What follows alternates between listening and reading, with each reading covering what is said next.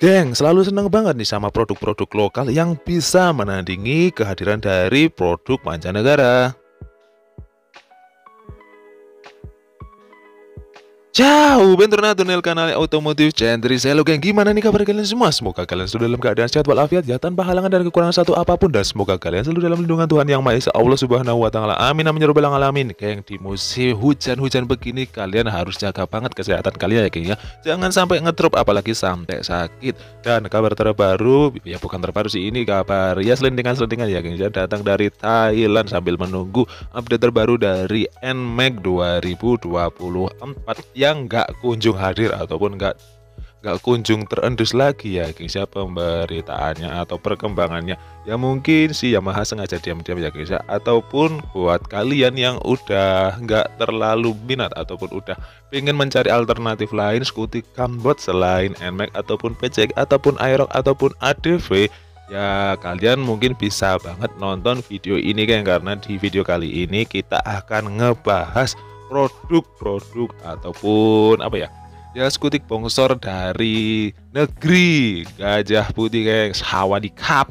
Ya itu adalah SJM drone 150 skutik gampot asal Thailand geng. Yang ya apa ya bisa bisa dikatakan ya emang senang aja kayak gitu melihat produk-produk lokal. Ya walaupun itu kerjasama ya guys ya dengan produk luar tapi seenggaknya mereka itu punya niatan dan tujuan yang bagus untuk bisa enggak terlalu tergantung sama produk yang bener-bener original dari luar begitu kayak dia adalah dan ini pun bentuknya itu malah mirip banget kayak itu kan kayak NMAX NMAX yang digambarin itu kan.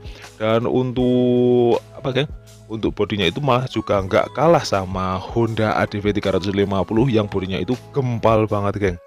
Dan untuk apa ya guys ya untuk bodinya itu gede gempal dan nih kalian bisa lihat ini adalah SJM Tron 150 kerja sama GPX Thailand dengan SJM dari Taiwan geng. Dan motor ini tuh merupakan skutik skutik ya ya skutik pongsor kalian bisa lihat sendiri bentuknya untuk di tampilan awal. Dia itu punya windshield yang tinggi banget dan warnanya itu hitam glossy gitu yang dan di tengahnya itu ada macam kayak itu ya ya kayak sayap-sayapnya milik pasukan di Attack of Titan gitu ya guys ya. Dan turun ke bawah ada tulisan GPX warna putih. Dan di bawahnya ada dua lampu yang terpisah. Di tengahnya itu ada, ada semacam rem air gitu. Dan untuk lampunya sendiri udah full LED dengan ada DRL dan bentuknya itu cakep banget ya guys ya. Terpisah dan kayak tegas banget gitu. Kayak lampu-lampu apa ya guys ya? Kayak mata-mata yang tajam banget gitu. Mata-mata elang begitu ya guys ya. Bukan debt collector tapi kayak mata-mata elang beneran dan kalian bisa lihat sendiri yang bentuknya itu terpisah dua klaster begitu bentuknya. Dan untuk apa ya di bawahnya itu kayak ada semacam apa ya kayak aliran-aliran udara begitu ya guys ya bentuknya pun aerodinamis serta eh, garang banget ya guys ya. Untuk dari ininya. Dan untuk keseluruhan tampilannya sih emang dari depan udah sangar banget nih sporty banget. Dan untuk di area samping kalian bisa bisa lihat sendiri dia itu punya kayak dek punggung gitu ya guys ya. Tapi yang unik dek punggungnya ini bukan berisi tangki BBM geng. Lucu banget ya. Dan untuk di firing depan di area muka depan kalian bisa lihat ya guys ya. Nggak terlalu tepos-tepos banget geng. Justru ini malah kayak terlihat lebih gempal ya guys ya. Berisi kayak layaknya Honda ADV 350 yang bodi bagian depannya itu uh, gempal banget geng dan sampai ke belakang kalau yang di depan kita ini warnanya itu biru-biru biru-biru matte gitu ya guys ya. Dan untuk ban depannya sendiri geng kalian bisa lihat bannya itu gambot ya guys ya. Bannya itu gambot dengan ada mata kucing. Untuk vendornya sendiri bentuknya itu uh, sporty ya. Jadi terpisah di antara kanan kiri sama bagian tengahnya. Bagian tengahnya itu hitam bagian kanan dan kirinya itu meruncing ke bawah juga geng Nih kalian bisa lihat ya guys ya dan untuk pengeremannya udah cakram. Dan untuk di area body untuk area bodinya ini bisa dikatakan malah kayak mirip-mirip apa ya guys ya? Mirip perpaduan antara NMAX sama PCE kali ya guys ya? Untuk di bagian joknya itu bentuknya mirip kayak PCE geng. Jadi joknya kalian bisa lihat sendiri bagian joknya itu juga tebal. Dan untuk bagian footstepnya footstepnya ini malah mirip-mirip kayak ya itu kan PCX kalian bisa selonjoran, bisa merilekskan kaki kalian dan untuk area sebelah kanan kita akan menemukan oh, dari bagian body sampai ke buritan belakang bentuknya itu didominasi dengan bentuk yang lancip, sudut-sudut yang lancip, sudut-sudut yang sporty banget ya. Dan untuk area knalpot kalian akan menemukan juga knalpot yang sporty dan untuk mm, covernya geng covernya itu juga Dibentuk sedemikian rupa memberikan kesan tegas ada mood guardnya juga di area rodanya. Dan untuk suspensinya tentu aja udah pakai suspensi yang double ya guys ya. Dan untuk ke area handle belakang untuk handle belakang itu kayak sekilas itu menyatu sama bagian body ya guys ya.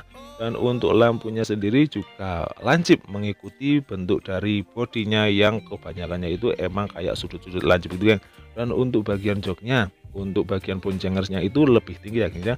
Dan ada rajutan-rajutan semakin memberikan kesan mewah bagi motor ini guys. Jadi kayak ada malah sedikit ada kayak sentuhan warna-warna merah gitu dan kita lanjut ke area kokpit. Kalian bisa lihat untuk stangnya sendiri kayak modelnya PCX ya guys ya. Jadi untuk stangnya itu telanjang dengan uh, stangnya itu warna hitam dengan racernya itu warna-warna silver silver begitu kan dan untuk pengamannya udah menggunakan kunci pintar ataupun keyless geng tentu aja di situ udah tersemat untuk USB charge untuk di area kiri panelnya ada lampu dekat lampu jauh lampu sen sama klakson untuk hand gripnya. Bentuknya sedemikian rupa pakai karet berwarna hitam dan di ujungnya itu juga ada jalurnya ya guys ya.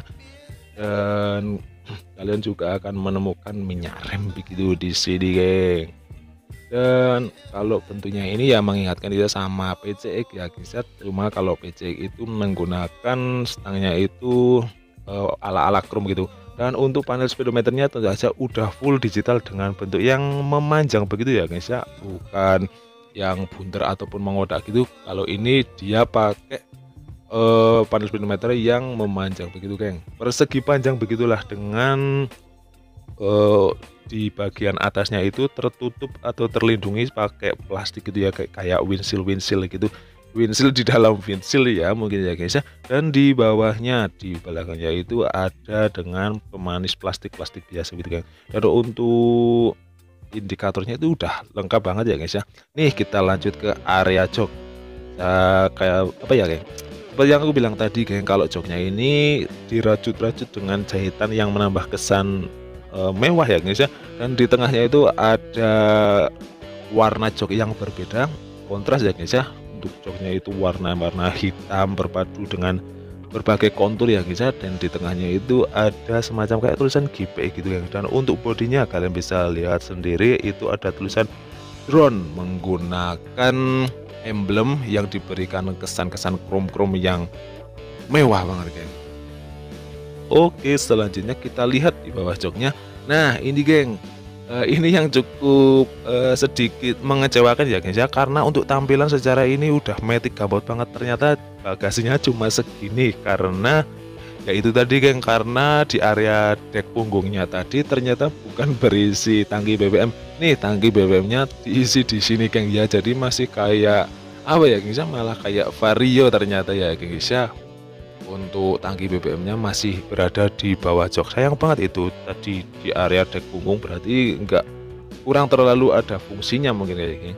Dan untuk lampu belakangnya kalian bisa lihat sendiri lampu belakangnya juga terpisah antara bagian kanan dan kiri. Tapi ini jujur sih cakep banget sih yang bentuknya itu entah kenapa ini bentuknya uh, desain yang futuristik banget ya guys ya dan untuk lampu belakang ataupun uh, stop lampnya ini juga udah full LED nih uh, ketika dinyalakan ada alarm hazardnya juga dan untuk fitur-fiturnya sendiri udah full digital full LED lighting terus full LED system juga ya guys ya. Dan 3D light bar tile terus posisi riding yang cakep banget ya guys ya. Ya ini sudah menunjang kenyamanan mesti ya untuk windshieldnya juga tinggi ada drone smart key udah udah USB charge juga ya guys ya. Ya ini fitur-fitur yang pasti ada di motor-motor Matic sekarang ya untuk joknya itu juga katanya premium terus menggunakan uh, disc brake depan belakang ada versi ABS sama versi CBS ya guys ya. Dan untuk ya ini sih kekurangannya cuma sih di bagian bagasinya aja kalau menurut aku sih pribadi. Dan untuk warnanya ada tiga varian ya guys ya. Ada varian standar varian keyless terus sama varian keyless spesial geng jadi ada tiga varian. Dan untuk harganya sendiri dimulai dari 30 32 sama 33 juta. Dan untuk fitur-fitur ataupun spesifikasinya mengusung mesin 4 ak 149 cc 2 klep SOHC dengan berpendingin air buatan SCM jadi ini ya guys ya. Dan untuk apa itu namanya harganya ya masih lebih murah daripada itu ya guys ya ternyata ya daripada NMAX. Dan mungkin cukup sekian dulu ya guys ya video pembahasan kita tentang SJM Drone 150 ya ini cakep banget sih motor dari Thailand yang bisa buat penanding dari NMAX sama PCX mungkin cukup sampai di sini dulu ya guys ya sampai ketemu lagi di video selanjutnya. Dah